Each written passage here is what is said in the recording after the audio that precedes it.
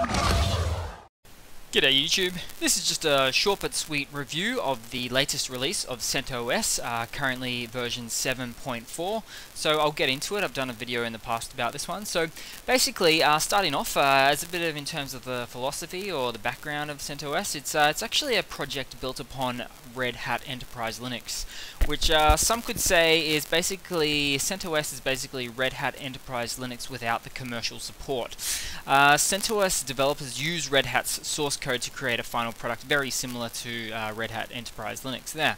So basically, uh, as you might guess, the usage is for uh, mostly enterprise environments.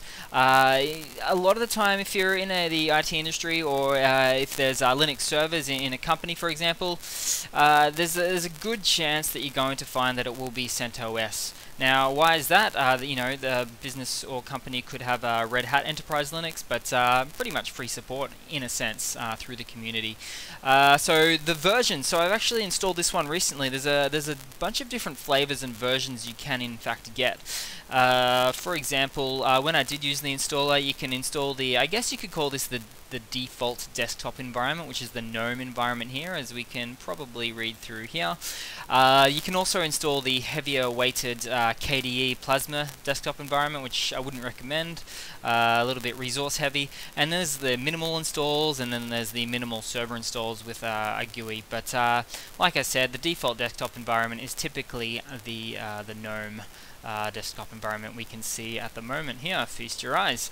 So um, pretty much uh, the let, let's get into it a little bit in terms of the kernel. So you'll find this is a little bit interesting. Uh, you'll find the kernel is 3.10 Obviously these days we are up to the kernel release in Linux of about 4.15, 4.16 depending on uh, how you look at it but uh, the whole point of uh, the distributions like these is to have a very very stable environment. These, these need to run web servers uh, you know to uh, basically serve uh, users on the other end. So it's it's not likely that we'll have a, uh, a CentOS in any anytime soon that will have a later uh, kernel, but uh, that's just pretty much part of their philosophy there as well.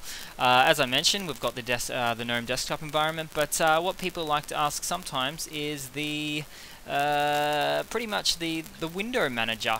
So let's have a look at that one there. As you can see, it's uh, perhaps a little bit different, but it's actually using the, uh, the, the, what's called the GNOME files manager there in terms of things. It's, it's not really no frills, but it's it's not really fantastically amazing looking. It is also an older version as well. Currently, uh, the GNOME version, at least for CentOS, is 3.22.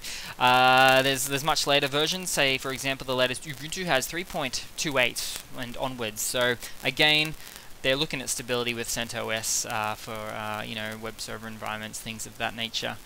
Uh, the package management system is very similar to Fedora and Red Hat Enterprise Linux, as you can guess. So it's the RPM uh, package manager and the um, package management system, I guess officially they call it.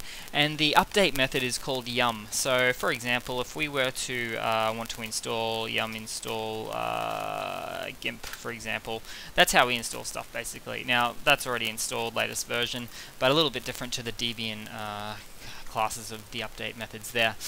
Uh, so that's pretty much it in a nutshell, guys. Uh, a little bit older in terms of uh, kernels. They are obviously secure and up-to-date in that fashion, but they are more stable and thus a little bit older in terms of versioning. Uh, it's uh, yeah, incredibly stable. I'm finding this to be, which is a, which is a good thing. You probably wouldn't use it for your daily desktop usage, but like all Linux distributions, you can pretty much install whatever you want on it. this one comes with a bunch of system tools here, that sort of thing. there we go firewall, uh, yeah, secure Linux uh, troubleshooting, all of that.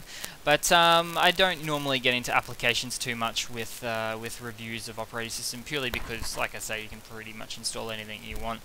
So that's pretty much it, guys. Um, I hope you've enjoyed. Uh, yeah, just a just a quick video. If you've enjoyed, please subscribe, and I uh, yeah, appreciate your time. Thanks.